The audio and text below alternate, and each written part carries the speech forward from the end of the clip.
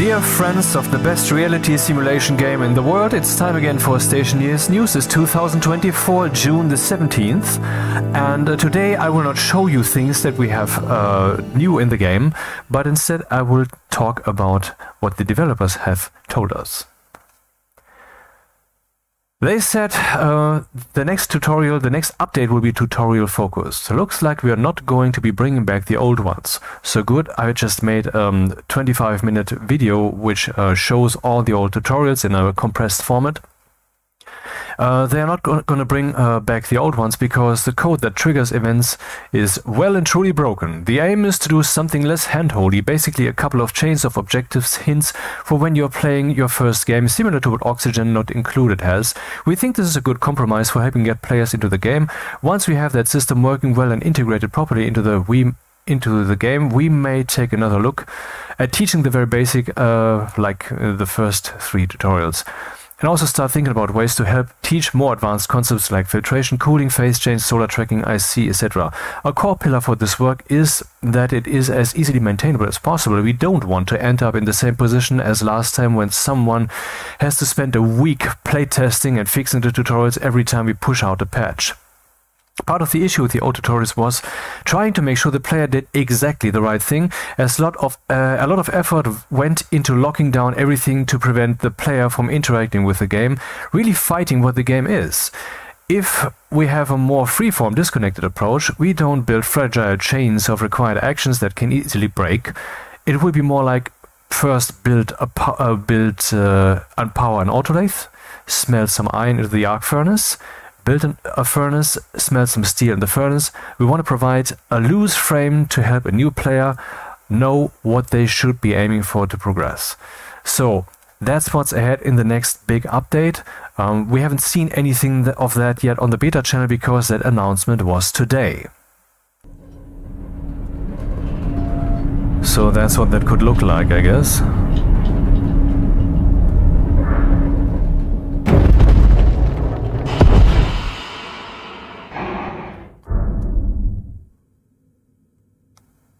Huh. Oh, achievement unlocked. Oh, what, what now? Um, okay.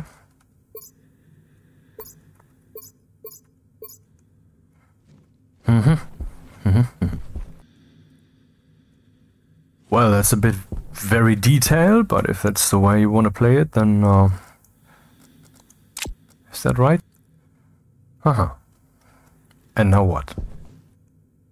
Yeah, and so forth. I don't think that's what they have in mind. I mean, uh, this is a bit too detailed and mm, comes down once again to do this thing in, ex in exactly this order. Uh, anyway, let's move on. Well, and the developers have announced for this year that they will uh, refactor the terrain. So we will have a finite world, uh, not round like here in Astroneer, um, but uh, you will have reason to travel, and there will probably be landmarks and such. It will be very interesting. A few square kilometers is what we are about to get. So Dean said about that about a month ago. The plan is to make the worlds a defined size. Then we can make the resolution of the voxels much finer, more performant, and a lot of the things we uh, and a lot of other things. We can then hand author and allow modders to as well. Worlds better, uh, place deep vein ores for miners, etc.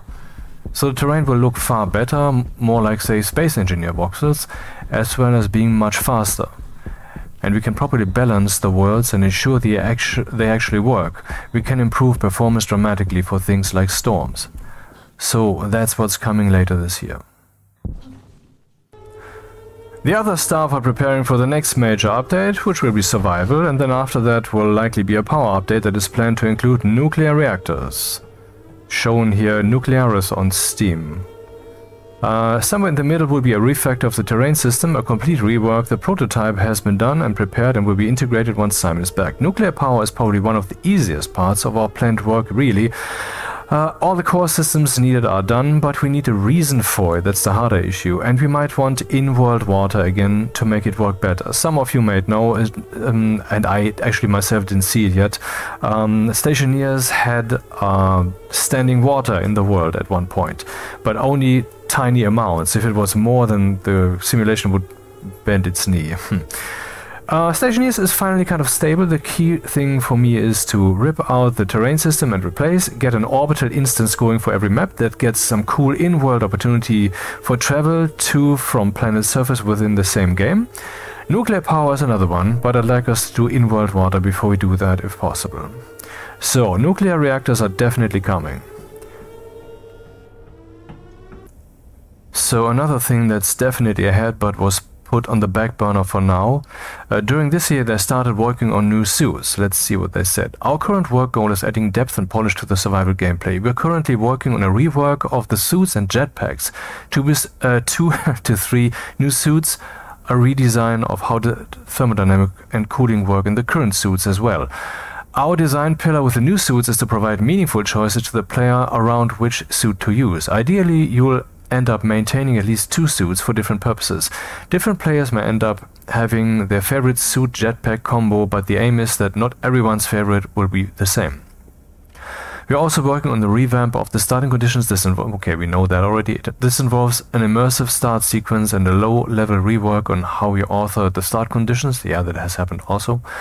For each planet, so we can have better control over what player spawns what, over what the player spawns with, what subsequent players spawns uh, spawn with, and what respawning playing uh, players spawn with, as well as all that sometimes Rocket, you know, uh, Dean Hall gets inspired and adds new stuff to the game just because.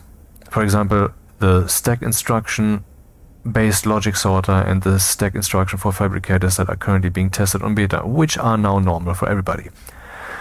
All these updates are part of it. The hygiene, starting conditions, and coming soon new suits, jetpack, are, as well as food. All those parts together with some tweaking as we go along, I think will get the survival loop to a really good place. New suits got put uh, on the back burner. We're still trying to figure out what we want to do with each one and what suit-based gameplay we want to change or improve. Yeah, so the new suits will be coming, but not very soon. What the heck does PlanetCraft have to do with anything? What? What? How did this end up on my screen? Well, there's a terraforming mod for Stationeers, and um, the developers are actually thinking about creating an expansion for terraforming. Let's read. I propose to the team we do a terraforming expansion which would be a whole offshoot of the game and price about the same as the main game, but allow terraforming. Our rough plan currently includes us, in future, making a whole expansion that would be terraforming, uh, though nothing is concrete on that yet. We initially had that idea and dismissed it. However, the popularity of the terraforming mod shows how wrong we were. Hopefully, in doing such a thing, it means we add more options for modders, including the terraforming mod itself, to make cool stuff too.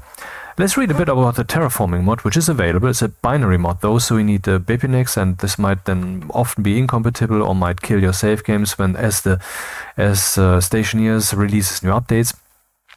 Terraforming enables the ability to change your world, cleanse your world, or pollute it in uh, polluted into a hellscape. The gas in your atmosphere is finite. Anything you take from it will be gone, and anything you dump into it will stay. The temperature will react accordingly, and with dedication and careful planning, you can turn Europa hot or Venus cold. The temperature of your world is controlled by a temperature model that takes uh, multiple factors into account, but the factors you'll be able to change is the gas composition. Pollutant is a strong greenhouse gas. CO2 and volatiles are mild greenhouse gases. Nitrogen and nitrous oxide have cooling effect. Volatiles will increase your day-night different differential temperature. A thick atmosphere will, will reduce your day-night differential temperature. Temperature model work of solar irradiance. This means temperature fluctuates with seasons, very noticeable on Vulcan. All planets can be made into a livable environment at least part of the day, but some planets are easier than others. Your planet has a maximum pressure it can sustain, defined by the gravity factor. Only if you reach this limit will gas start to completely disappear. Your planet has a maximum pressure it can sustain, defined by the gravity factor. Only if you reach this limit will gas start to completely disappear. Please note, the world atmosphere total volume is very large, but it's nowhere near realistic in so many ways. This is intended as an endgame project and to give more purpose to building megabases. I have tried to put it at a size that would make a, a megabase designed to process gas a minimum of 100 hours of effective chugging to complete a terraforming project. 100 hours of the game calculating on the atmosphere to to completely change the planet into whatever you have set out to turn it into. But this is hard for one busy man to test and confirm. So if you find it taking blah blah blah and so forth. So uh, yeah, that's not necessarily ahead, but they have plans to do such a thing. They are just not hard plans, but they would like to do it. Uh, so someday on Discord when we were discussing potential missions and tasks to do, because currently all we're doing is we're living with the emergent simulation, I said would be cool if we'd have if we'd have to make kind of a hotel in which guests would dwell. You know, this would mean that we would have to make the rooms survivable with beds, with lighting, maybe some automatism, the right atmosphere, temperature, maybe adjustable, who knows. That also have, uh, so, um, the guests that would also have to move from their room to the outdoors and vanish like Sims going to work, so that path shouldn't be too long. All would be evaluated depending on survivability, apparent safety, comfort, and maybe even luxury. That's a lofty fantasy, of course, but it would fit well with the game. So traders needing their atmospheric needs satisfied would be a first step in that direction, a prototype of that situation quasi. I'm saying uh, we currently have that already. We could expand that to a hotel-like thing. And then Dean said, uh, which wasn't even the discussion to that point, I think.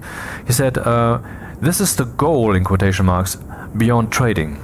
We want to extend it to like to little activities, missions, run a hospital, hotel, babysit some researchers, etc. Uh, said, That sounds cool, kind of like Icarus, eh? Uh, Dean said, Probably not quite to that level, and there's no confirmed time frame on it. We can assess after other stuff, but it's long been a goal for us post traders. So there you have it. That's what the devs said. Interesting stuff, announcements, uh, yeah, things that will be coming, may be coming, or would be becoming. See